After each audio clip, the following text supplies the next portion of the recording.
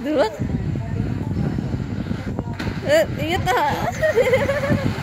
Ketabrak. Sudah.